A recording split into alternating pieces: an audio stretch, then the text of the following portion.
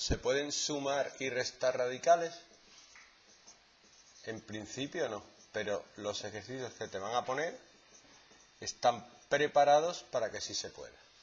Por ejemplo, raíz de 18 menos raíz de 8 más raíz de 50 menos raíz de 2.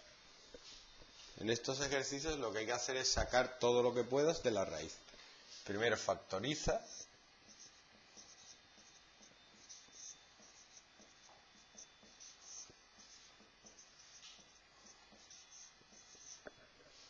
Y ahora de aquí puedes sacar un 3, te queda 3 raíz de 2.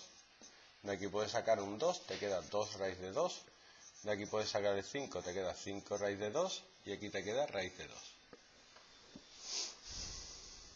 Y todo esto son números multiplicados por raíz de 2. Sería 3 menos 2, 1, más 5, 6, menos 1, 5. Esto sería 5 raíz de 2. ¿Vale?